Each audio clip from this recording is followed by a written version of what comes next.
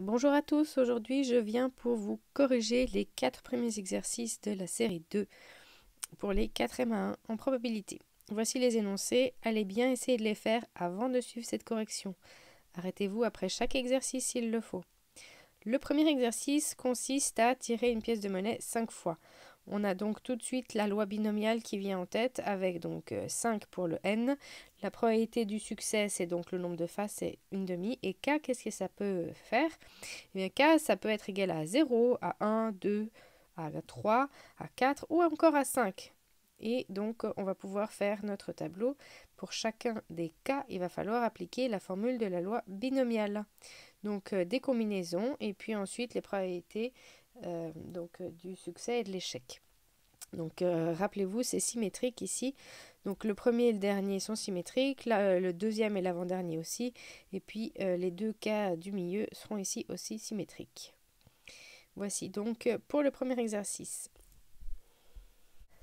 Pour le deuxième exercice, nous avons une pièce de monnaie et un dé. Donc le dé va de 1 à 6, donc on va avoir 1, 2, 3, 4, 5, 6, et ensuite on a une pièce avec pile face. Donc ici, j'utilise deux couleurs pour les deux objets. Et on nous demande de regarder x, une variable aléatoire, qui à chaque issue va associer un nombre. Si c'est surface, c'est euh, le même nombre que le d, donc 1, 2, 3, 4, 5, 6. Et si c'était donc euh, pile, alors on va multiplier par 2, donc ce qui est obtenu sur le d. Ce premier tableau n'est pas le tableau de distribution. Ici, on va donc utiliser un tableau intermédiaire pour savoir quels sont les cas et après, on va pouvoir utiliser le tableau de distribution demandé pour établir la loi. La loi, c'est donc donner tous les cas possibles avec leur probabilité. Donc on va avoir les nombres de 1 à 6, plus 8, 10, 12. Et quelles sont les probabilités? Ici, on voit qu'on a donc 8 cas possibles avec certains qui peuvent se répéter. Par exemple, le 1, combien de fois est-ce qu'on l'a? Eh bien, on voit qu'on l'observe une seule fois, donc une fois sur 12. Ensuite, qu'est-ce qu'on a? Le 2, on l'observe deux fois sur 12. Le 4, est-ce qu'on l'a plusieurs fois? Le 3, est-ce qu'on l'a plusieurs fois?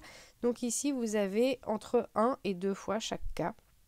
J'utilise des couleurs pour m'y retrouver et compléter ainsi mon tableau. Ici, je vous conseille donc l'outil tableau. Mais le tableau de distribution, laissez bien de la place après puisque, euh, petit spoil, eh bien, on aura besoin de compléter cet exercice à partir de l'exercice 5 on calculera d'autres choses comme la moyenne, la variance ou l'écart type. Donc on aura besoin de rallonger ces tableaux, utilisez donc une page à 4 par exercice. Nous avons donc revu l'outil tableau et la loi binomiale. Quel autre outil allons-nous voir pour l'exercice 3 Eh bien ici on jette trois fois de suite notre pièce qui a à chaque fois deux possibilités pile ou face. Donc on peut faire un tableau avec trois étages. Non, c'est pas possible, donc on va faire un arbre. Donc on fait un arbre avec euh, trois embranchements à chaque fois de pile ou face. Et alors qu'est-ce qui se passe? On nous dit que la variable aléatoire prend la valeur du gain.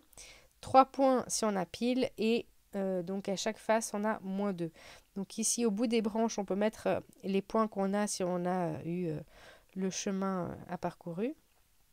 Et ensuite, on va pouvoir, après cela, établir le tableau de distribution pour la loi de probabilité.